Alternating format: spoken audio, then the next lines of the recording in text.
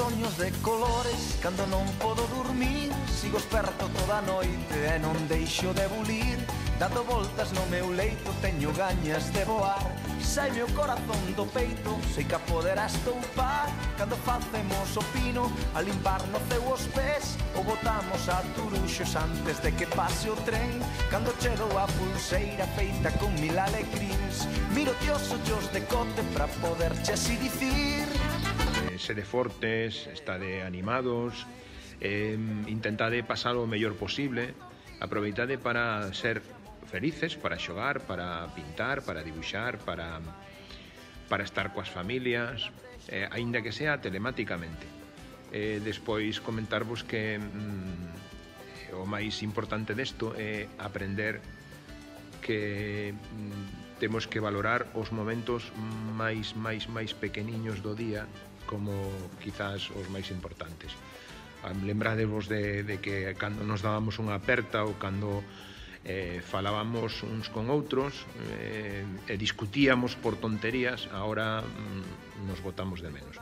Eu tamén vos voto moito de menos a vos, eh, mm, incluso cando facíades tanto jaleo eh, sede felices, vale? Eh, e cuidadevos, e sobre todo lavade moi ben as mans, eh, tres veces os días, os dentes, eh, duchadevos, facede dibuxos, leede, pintade, e eh, lembradevos de axudar moito na casa.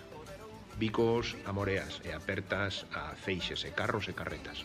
Chao! Ola rapaces, que tal? Quería falarvos para darvos a noraboa polo ben que o estades facendo nas vosas casas estes días Quero que sexades moi felices, que disfrutedes, que xoguedes, que bailedes, que cantedes, eh, saltedes, fagades exercicio, salgades á ventana a aplaudirlle a todas as persoas que están facendo cousas por nós estos días e, e que sexades super, super, super felices que é o máis importante, que sexades felices vos e que fa, fagades felices a todos os que están nas vosas casas porque xa sabedes que donde hai un neno hai felicidade. Así que sin vos isto non sería o mesmo. Moitos bicos, valedes un montón quero vos moitísimo. Hola chicos, os saludo desde mi casa para daros mucho, mucho ánimo por el tiempo que nos falta para volver al cole. Sé que estáis haciendo muchos puzzles, jugando con la plasti, leyendo cuentos, tenéis que ayudarle a los papás y a las mamás y pronto vamos a volver al cole, ¿vale? Y mientras, pasadlo muy bien, portaros bien, muchos besitos. Chao. Hola, os saludo desde mi jardín.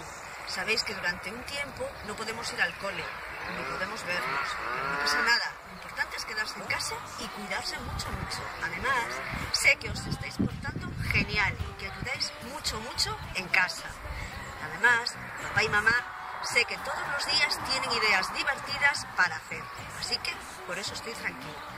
Tengo muchas, muchas ganas de veros, muchas, y de abrazaros, pero por ahora no puede ser. En cuanto podamos, lo hacemos. Y mientras, muchos, muchos besitos. Hola, buenos días. Como podéis ver, hoy yo tampoco estoy en el cole, estoy en mi casa, como vosotros, estamos todos en nuestra casa. Pero en casa también estamos genial, estamos con nuestra familia. Así, todos juntos es mucho más fácil.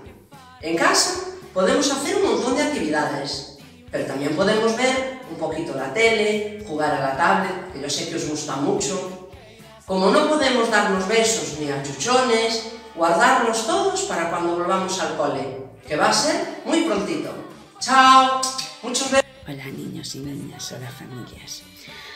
Os mando desde aquí un fuerte gracias, gracias a todos los que estáis en casa, un fuerte gracias a todos los que tenéis que ir a trabajar, pues para que a nosotros no nos falte ni protección ni alimentos y a los que científicos que están buscando esa vacuna, porfa, rápido. A los demás, a los que estamos encerrados, a los que no podemos seguir con nuestra vida normal, calma, mucha calma.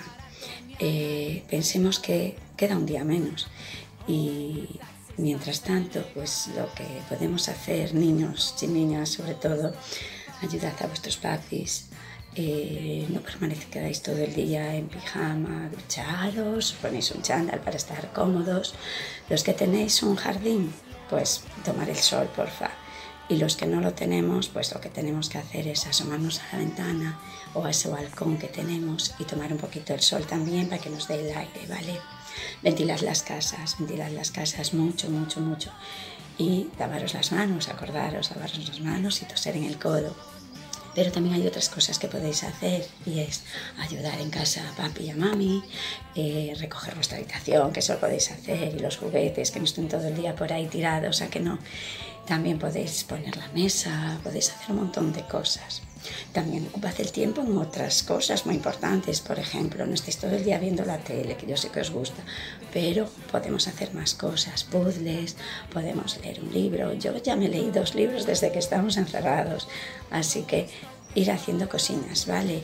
Y pensad eso, que gracias primero a todos los que estáis trabajando por nosotros eh, que esto va a terminar, va a terminar pronto y dentro de poco todas las plazas de San Censo se van a llenar de gente y se va a romper este silencio que encontramos, que solo se oye de vez en cuando algo.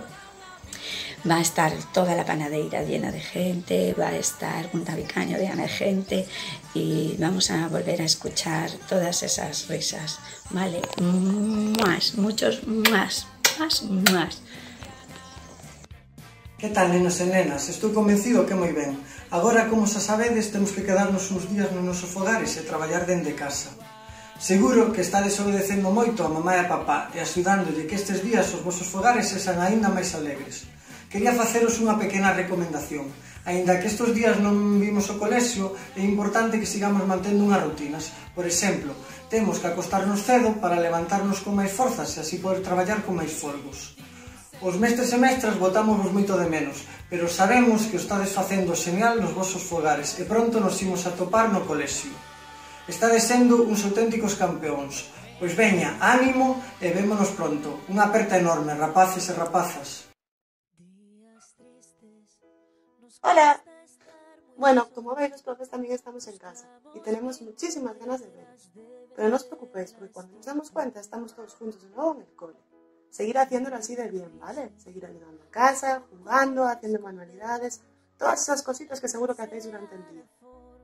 Mucho, mucho ánimo, ¿vale? Y muchos, muchos besos. Cuando nos demos cuenta, volvemos a estar juntos. Hola chicos, ¿qué tal? Bueno, nada, estuve aquí pasando a cuarentena no campo eh, quería mandaros un saúdo unha aperta moi forte e que me tarda moito veros outra vez. Toca raquetiño un poquinho. Saúda aos nenos de segundo B. Temos pendiente eh, o día da mascota non me olvido. Un saúdo grande. Un bico. Ola, nenas e nenos. Ainda só pasaron uns días e xa temos morriña do cole. Voto vos de menos, pero nunca choveu que non escampara. Isto logo pasará e volveremos a dar todo. Aproveita para ler, debuxar, recortar que tanto vos gustaba, facede un pouquiño das tarefas que colgamos no blog cada día, e bailade, contade chistes, hai moito que facerse lle voltas imaginación. Ben, marcho, que teño que marchar. Ai, non, que non se pode sair da casa.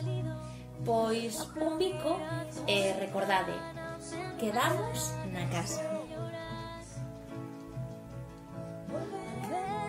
desde lejos unidos, empujando al mismo sitio, solo queda un poco más.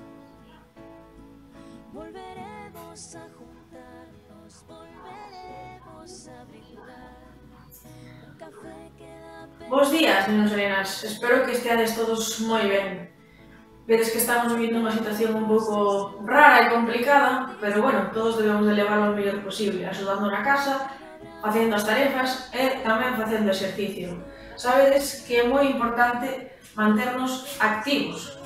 Eh, este vídeo de yoga deixei polo colgado no blog, así como outros para bailar e facer as distintas actividades. Espero que esteades mirando o blog e practicando un pouquiño deste, destas actividades ou, dependendo das vosas posibilidades, facendo outros exercicios na casa.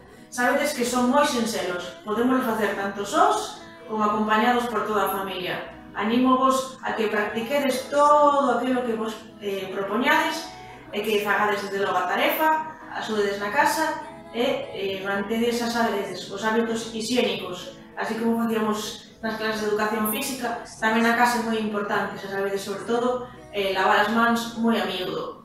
E eh, animo a, a que sigades practicando diferentes exercicios, diferentes actividades, e eh, tanto xa esa, estas que vos colgo no blog como outras que teñades vos na casa para facer. Sabedes que calquera, calquera, calquera o pode facer. Así que animo vos a que sigades así, que o estades facendo moi ben moito ánimo, unha aperta para todos. Ata logo! Ola rapaces e rapazas, pasame por aquí para dicirvos que sodes uns campións e unhas campionas que está de lo a facer eh, xenial que sigamos na casa para poder eh, gañarlle a batalla a, a este virus que se vos bota moitísimo de menos e que pronto estaremos na, na escola para xogar xuntos e para aprender xuntos eh, mentres tanto disfrutade das vosas familias, eh, xogade, cantade, bailade, eh, sobre todo aproveitade o tempo en compañía dos, dos vosos. Un bico moi forte e un millón de apertas para todos. Ola rapaces e rapaces, mando esta mensaxe de ánimo para que non deixedes de sorrir, bromear, inventar, experimentar, leer, escribir, ata Se queredes aburrirnos. Xa nos queda un día menos para vernos. Seguide facendo tan ben como ata agora.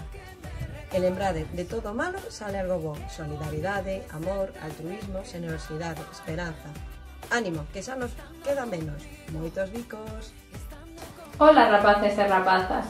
Estes días estamos vivindo unha situación un pouco complicada e difícil, así que dende a miña casa mando vos moitos ánimos para que sigamos cumprindo as normas e axudemos a que as cousas melloren para poder volver a vernos na escola pronto. Recomendo vos que cando fagades as tarefas que vos mandan as profes, sigades un horario e vos concentredes no momento de traballar. Pero tamén tendes que ter o voso tempo de ocio, ocupando en debuxar, ler, ver series e facendo algo de exercicio físico. Moito ánimo e démonos na escola. Hola, niños. Que tal? Como estáis? Soy la profe Yané, estoy en mi casa. Niños, os quero mucho. Un besito. Como vedes, todos os mestres e mestras da escola mandamos vos moitísimo ánimo e dicirvos que vos queremos moito. Por iso, o aplauso de hoxe vai por todos vos.